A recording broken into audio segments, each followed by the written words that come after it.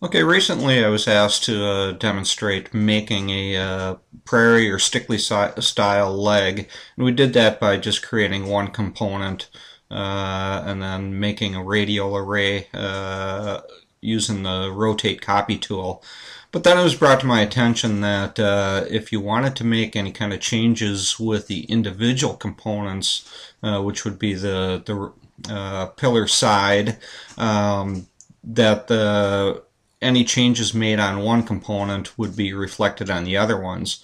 Uh, so there was some question about how we would go about uh, trying to make a change that wouldn't be reflected on all of them. So what we'll try to demonstrate here is how I would do my workflow process on that. Uh, I just drew a quick uh, pillar side here and it is still the raw geometry so what we're going to do is just make that into a component and I'm going to call it the pillar side.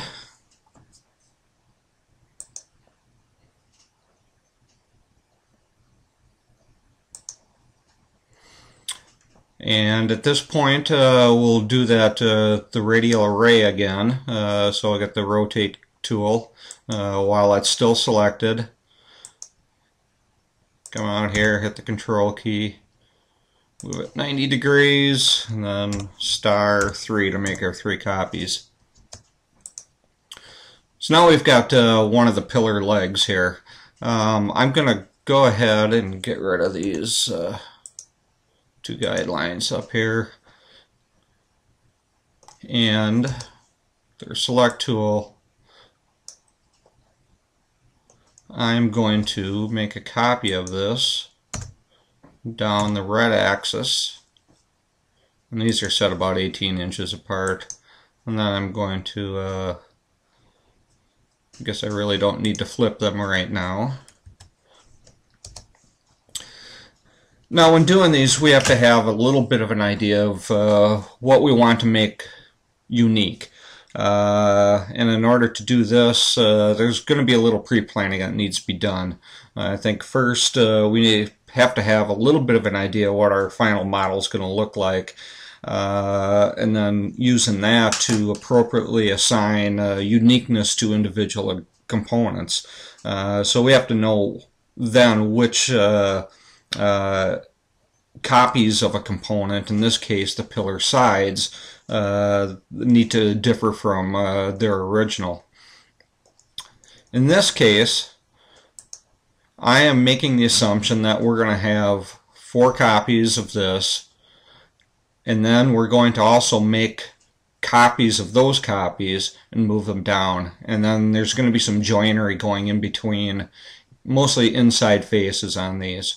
So we have to decide uh, or plan out ahead of time what are going to be uh, individual components of these uh, pillar sides that are going to be unique or different from the original copies.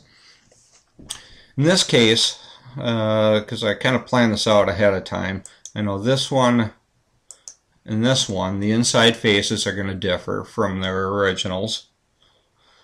So I just select those, uh, select one, hold the controller shift key down, and then uh, select the second one.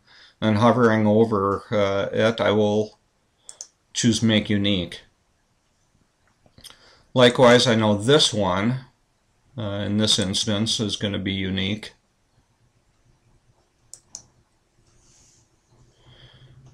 And these two inside faces are going to be unique. So now from here, for, for clarity, what I'm going to do is go ahead and uh, add some color.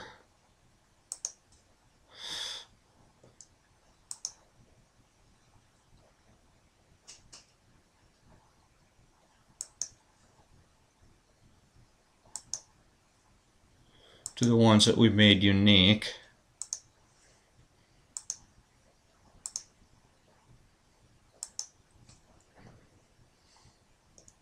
Now everything with the same color would be I, copies of uh, identical components now. From here I think we can go ahead and uh, make these into a component. This one I'm going to call the outside pillar.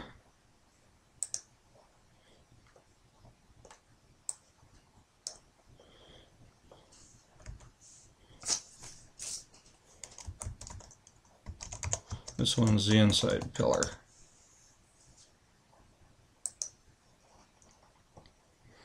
Now from here we can go ahead and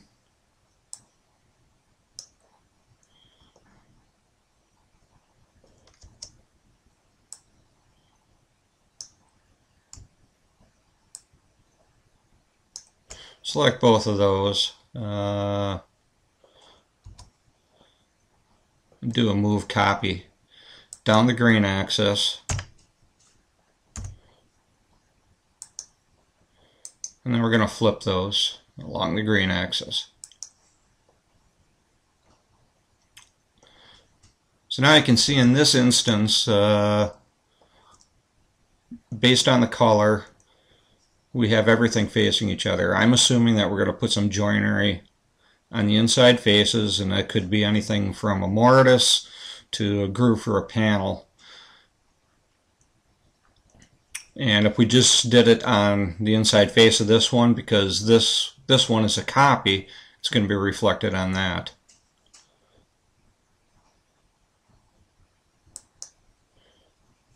Now, I'd already taken the liberty to do that on a couple of these here.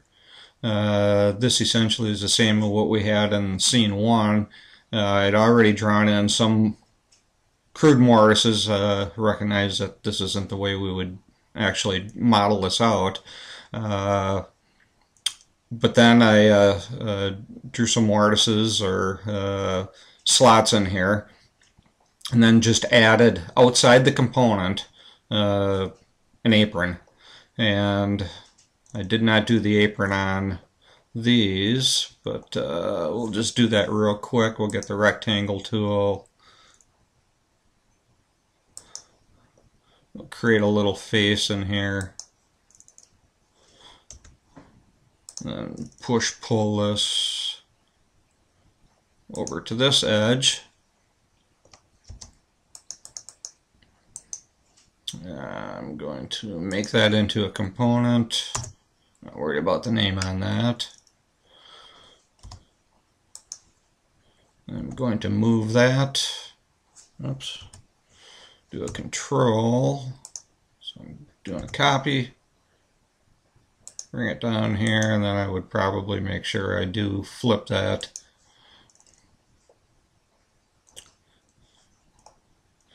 So now I've already drawn some guidelines here. Uh, I hadn't drawn a mortise here.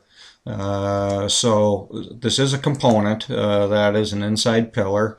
Uh, so I have to edit this component. And since this is a nested component, we're going to edit this one.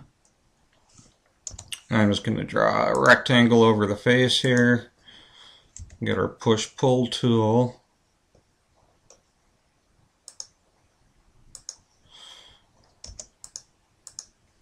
And now you can see it was reflected on the, the back copy of that component. So let's get rid of some of these guidelines. So from here, we can go ahead and select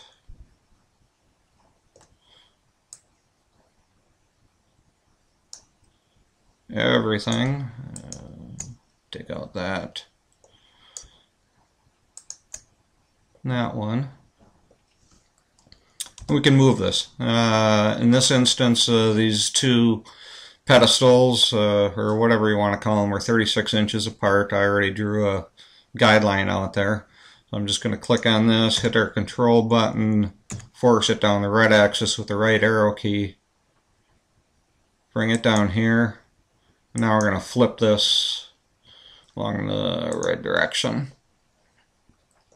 So now we've got essentially two identical copies 36 inches apart. Now we can go ahead and uh, put a stretcher or rail in between these two.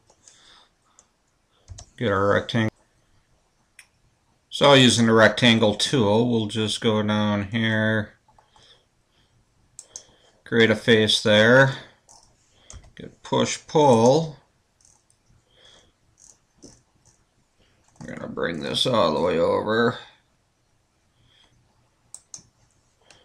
And again, we'll make this into a component.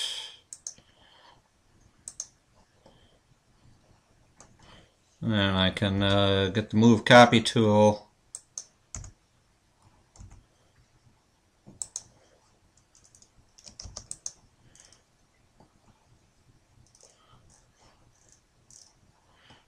Bring that down. Obviously, what, what I just demonstrated here may not be uh, appropriate to whatever model you're building.